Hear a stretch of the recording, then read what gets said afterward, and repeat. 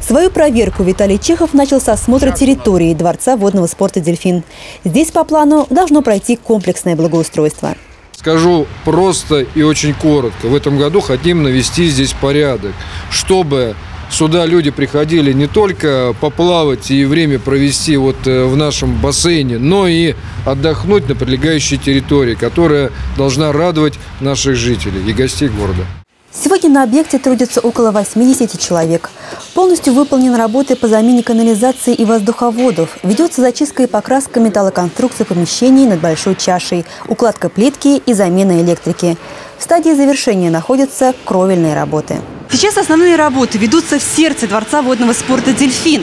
Большой чаше проходит монтаж железно-бетонных конструкций. Готовится основание под заливку бетона. Чтобы успеть все срок, рабочие работают по две смены.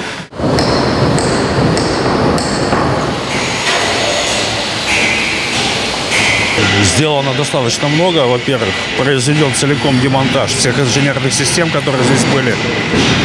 Демонтаж э, большой ванны, учебной ванны. И вот на данный момент завершается работа по монтажу ванн.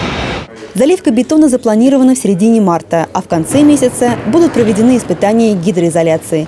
Только после этого начнется монтаж инженерных систем, находящихся под большой чашей.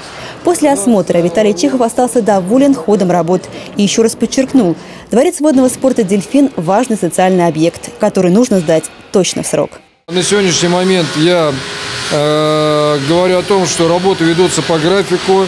А, сбоев нету, подрядчик встрепенулся. Если в самом начале у нас были еще у меня замечания и вопросы к подрядчику, то теперь вошли в нормальный рабочий режим.